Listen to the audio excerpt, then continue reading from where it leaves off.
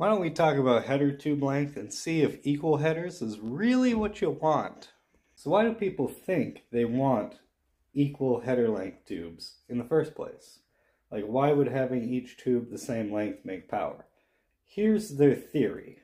See, the point of equal length headers is they want each exhaust pulse to be evenly spaced out, one after the other, so when it comes down the tube and enters the collector, one pulse will enter the collector first, help draw out this pulse, which will help draw out that pulse, which will help draw out that pulse.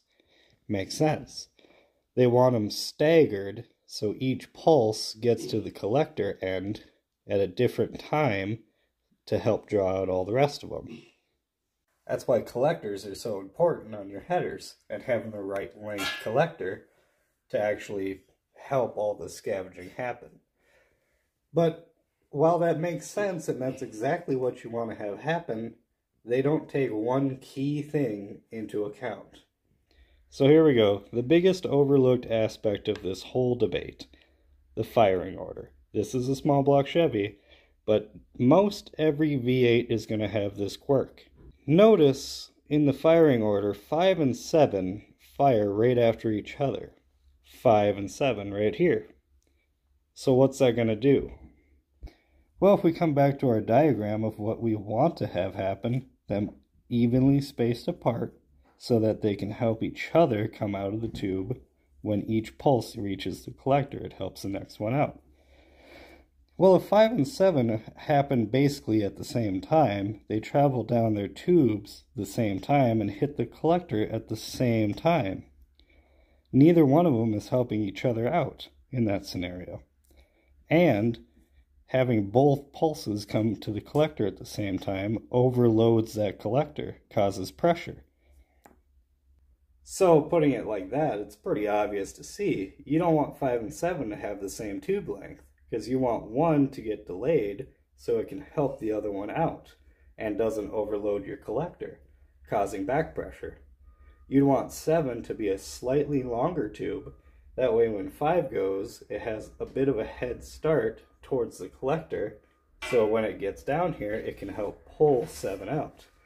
And it's not just 5 and 7 that's the problem. It's also what comes after it. See, if 5 and 7 happen at the same time, then there is no pulse in the tube to help draw out number 1. See, that gets all used up, and then when it comes back down to 1, that has to fight all by itself to try to get down there.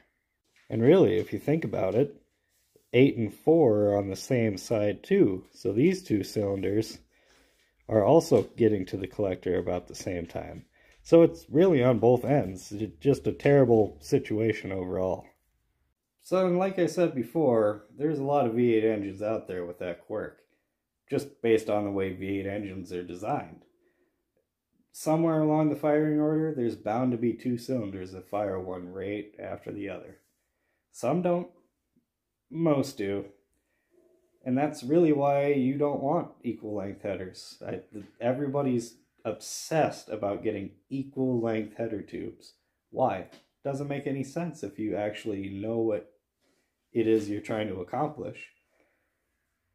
If you have unequal length headers tuned to your own firing order, that way you can keep the signal down at the collector a nice steady signal pulling all that scavenging all that exhaust out. That that's what you want right? I i got that right right? Yeah you got that right. All right good. I'm glad i know what i'm talking about. Ugh. i'll catch you next time